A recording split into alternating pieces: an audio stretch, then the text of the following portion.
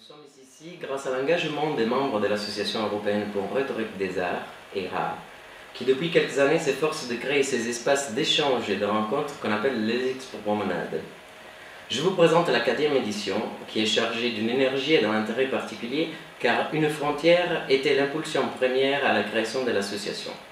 Au départ, tous étudiants en master rhétorique des arts dans cette université, les fondateurs de l'association étaient confrontés quotidiennement au clivage entre leur formation en recherche très pointue et un public qui avait l'air de ne pas savoir situer les tenants et les aboutissants de la rhétorique des arts. Ceci dans un contexte d'un campus où la frontière est au menu tous les jours. Trois exemples. Premièrement, les étudiants en lettres ne connaissent pas correctement les composantes ni les structures dédiées aux étudiants en sciences, tandis que ces derniers ignorent l'existence d'un patio dans l'enceinte de l'UFR de lettres. Je n'en dirai pas plus. Deuxièmement, la structuration des cursus, leur intensité et leur fin didactique scellent les domaines de compétences et ne laissent pas beaucoup de place ni de temps à l'interdisciplinarité. Troisièmement, le choix politique inspiré par le modèle du campus à l'américaine, jamais complètement abouti sur sol européen. Ce choix a ôté aux villes le ferment culturel que la vie étudiante comporte, même dans une petite réalité comme celle de Pau.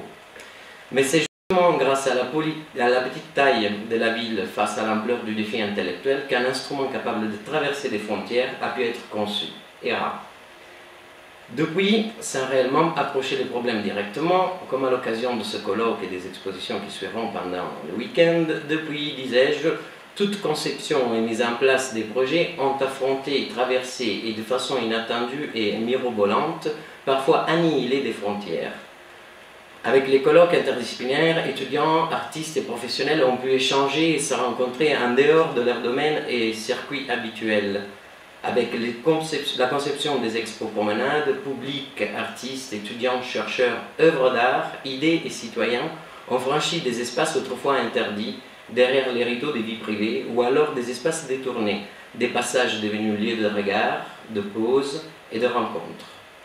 Avec les choix des hébergements chez l'habitant, dû au manque de subventions, on a constaté que celui qui normalement est assis en salle et celui qui court les scènes s'occupent l'un de l'autre de personne à personne, sans les clivages que les rôles sociaux érigent parfois sur les chemins de nos relations. Cette difficulté économique devient alors un atout social. Je partage l'expérience associative d'ERA depuis euh, lors. J'aurais beaucoup aimé venir vous parler de mon expérience de poète avec un tréma qui traverse une frontière et d'un coup se met à rêver en quatre langues. Mais les contraintes de ceux qui s'engagent dans l'organisation d'un événement comme celui-ci l'ont rendu impossible. D'où mon manque de rasage et cette composition que je vous lis qui a refusé de se faire réviser en pensée cartésienne et qui demeure ritalosophe.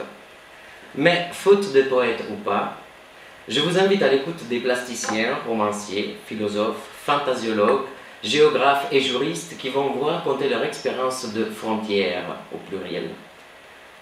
C'est par euh, les derniers que j'ai cités que nous allons commencer, en établissant un ordre des légales sur le sujet. Le droit peut-il déterminer les frontières? Et je laisse la parole à Louis de Fontanelle.